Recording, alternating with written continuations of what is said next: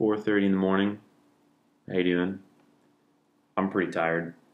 Um, what better time to be doing the final reflections video than 4.30 in the morning on the day that everything is due? Uh, I can't think of one. So um, I just finished my final project. I still need to archive my blog. Um, I I don't have time to do any more tutorials. I don't have time to do any more anything. I still have to start on like a science fiction paper that's due like an hour after my meeting with Jim. So I'm just gonna go ahead and do this now and call DS 106 a wrap. Um, just because I that that's the first thing I want to address is that there's there's the, the question of like what would you say to future students? Um, I would say take it when you have time um, because there's nothing worse in this class than feeling burnt out uh, and and too busy to do what you want to do in this class. Because almost everything you have that you can do in this class is super cool and super creative and things you actually want to do. But if you don't have time then you just sort of rush everything and it just it just feels disappointing. Like there were some things that I wanted to do with this final project that I just didn't have time to do. Um, I ended up having to skip like weeks of daily creates because I just didn't have time because I was just you know juggling you know a social life and scheduling a charity comedy event and homework for other classes and essays and work and all this other stuff. And so it was just like, well, you know, something had to give and it just happened to be digital storytelling. And that sucks because that was also probably my most fun class. Um, so take it when you have time to take it. Because if you just take it when you're busy you're going to end up like me burn out 4.30 in the morning on the day that everything's due just now finishing it up. Um, not fun.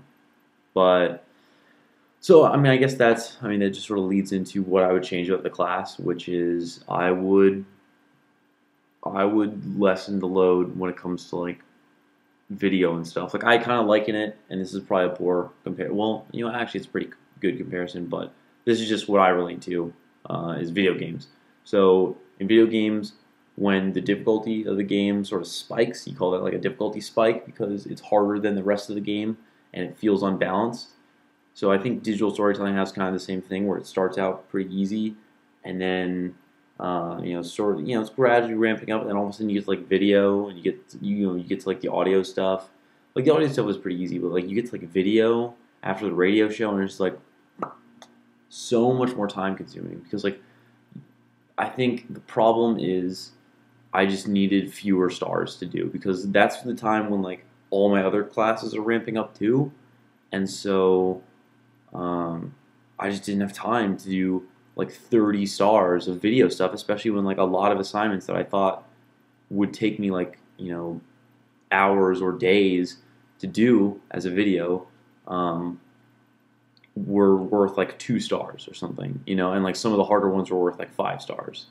So I feel like the, the star system needs to be a little more uh, balanced, especially like when you get to remix. Because when you get to remix, then like everything gets thrown off because then it counts both the remix stars and the original stars and combines them. And so like things that are really easy are worth a whole buttload of stars. But anyway, so the I think the, the biggest problem with this class is just that it, it just has that spike. Um, and then you, it's just very easy to get burnt out because at the time when that spike happens, you know, I'm I, it's just I just it's just you have so much work to do and other stuff that you know I couldn't deal with that spike, and so I just had to like drop out for like two weeks or whatever, you know, two to three weeks, and just couldn't do daily creates, couldn't do assignments as much. I was doing everything late because it was just like all these other classes needed my attention more than digital storytelling did. But um, I don't know. I guess I'll just move on from there. Um, what did I gain most? Um, I think at first I gained just you know do something every day because I'm usually pretty slow uh, when it comes to doing creative stuff. Like, cause I, I want to put out quality, um, like as high quality as I can. But that also means that it takes me forever. That's why I only ever post like once every couple of months on my on my video game blog. Is because I just you know I try to post high quality stuff and it takes me forever.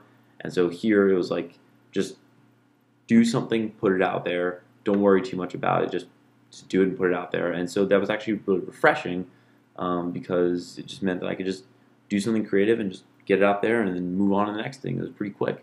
Um, so that was probably something I got out of this class. I already knew kind of a lot about like Photoshop and stuff, and a little bit about audio. So that that was helpful, especially like the radio show.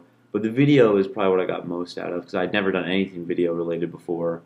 Um, didn't have any sort of video editing program, um, and so that was actually uh, super useful.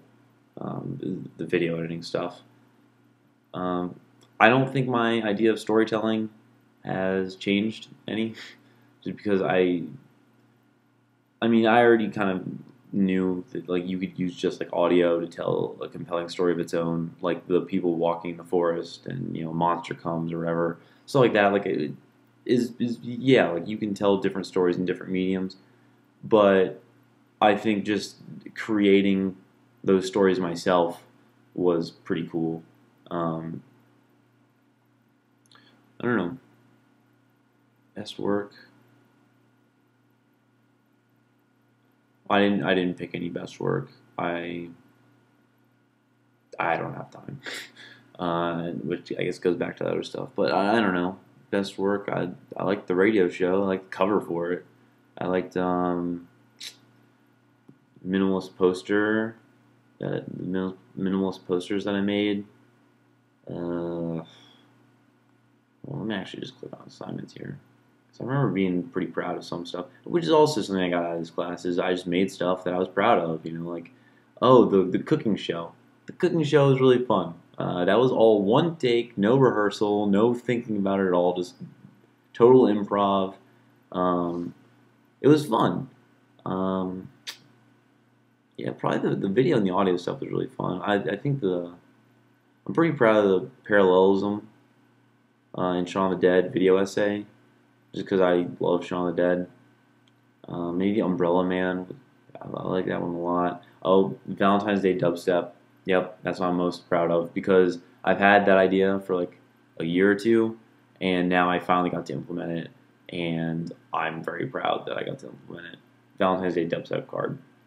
Um, but anyway, so to wrap up this way too long video, I think this is a great class.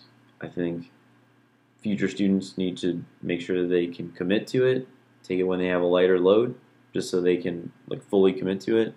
Um, and I, but I think that the class would benefit from not being as um, from from not piling it on near the end with all like the video stuff.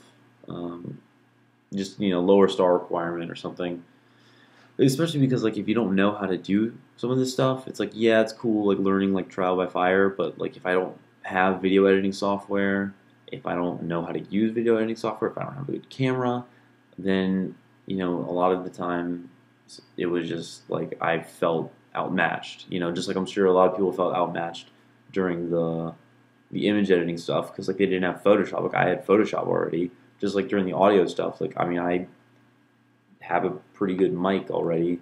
Um, and so like I remember like Mara had that problem with you know her radio show is that it sounded like crap because she was just using her like MacBook speaker, which I mean is the reason why I bought a new mic was because like I just was so tired of my MacBook speaker uh, a while back, and so I was like, okay, I'm just gonna shell out some money and buy a new uh, mic.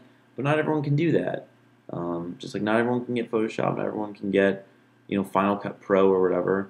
So, you know, I think that's a flaw of the class too. Is that uh, tools need to be more uh, available, and you know, if if people need help, then I think trial by fire shouldn't be the only option for them. I think there should be more in class.